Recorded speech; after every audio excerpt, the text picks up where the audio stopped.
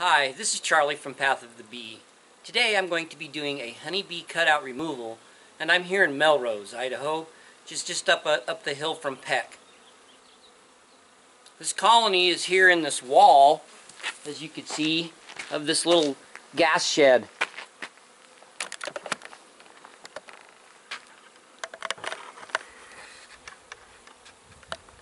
They have an entrance up high here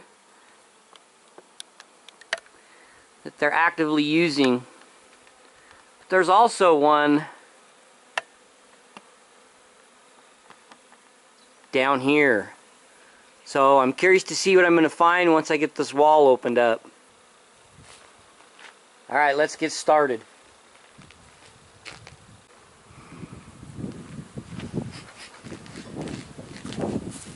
Okay, so the first thing I'm going to do is give him a shot of smoke and let him settle down a little bit and then we'll go ahead and uh, start removing the old composite siding off the side.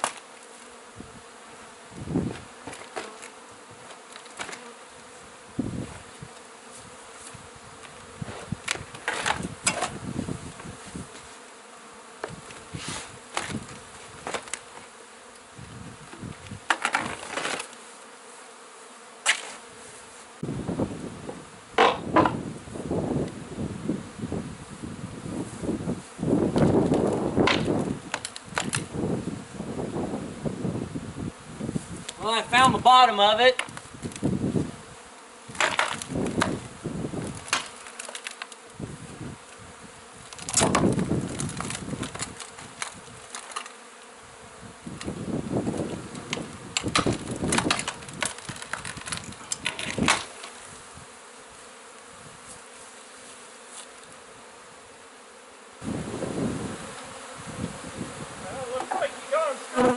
Oh, I got them. I got them wild. Yeah, I do. But we found the bottom of it. Did you? Yeah. We'll see how far up they go. I'm thinking they go all the way up Yeah. higher, but well, I'll start. They got a lot of brood in here, which is good. That's what you're looking for? Yeah, I'm looking for this brood, so it's right here, and Yeah. some pollen and stuff. I'll start. I'll start cutting this out right now and putting it into uh, into frames. Okay.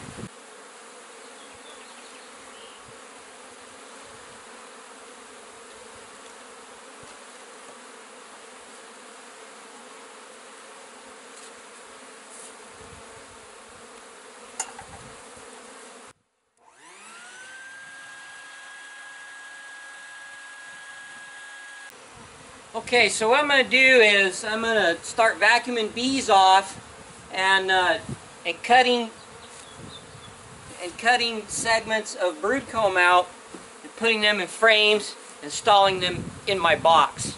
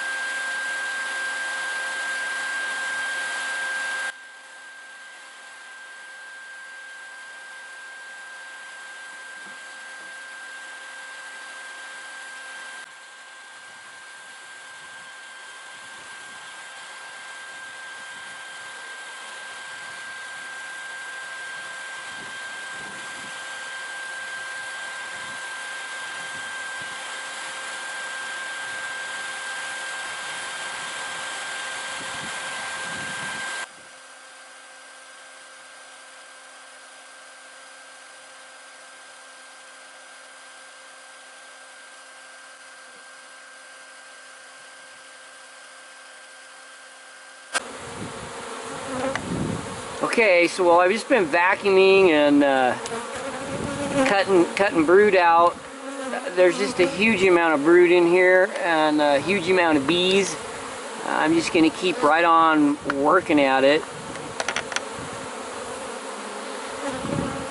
This is brood here. It's got freshly laid eggs, larvae. I have still not found the queen yet. Might be two or three in here.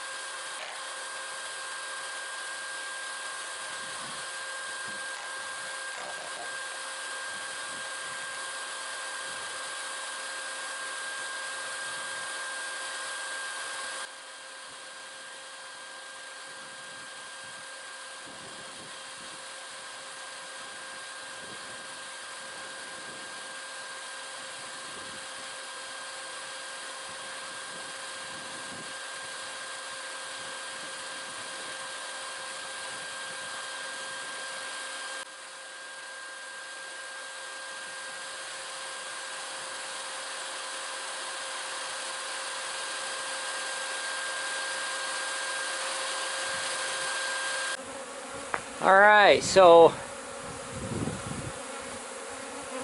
we're making progress. I I think that the I think that the colony goes completely up to the roof. I won't be able to remove that next board up because of that wire there. So looks like it's honey up above what I can see, but the rest is a brood comb below that. I've already got over half a box of brood comb. It's important to orient your brood comb in the same direction that it is naturally, so you don't want to turn it on its side or or uh, upside down. You want to keep it the same up down that it is in the natural state.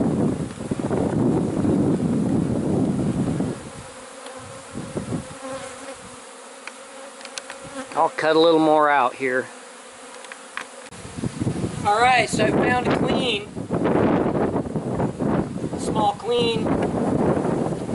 Don't know if it's uh, replacement after uh, swarm or what's going on here. Um, but I got her my queen clip. I'm to put her in the hive. See if you can see her in here. She's on this side. There we go. All right. I'll put her in the in the in the box.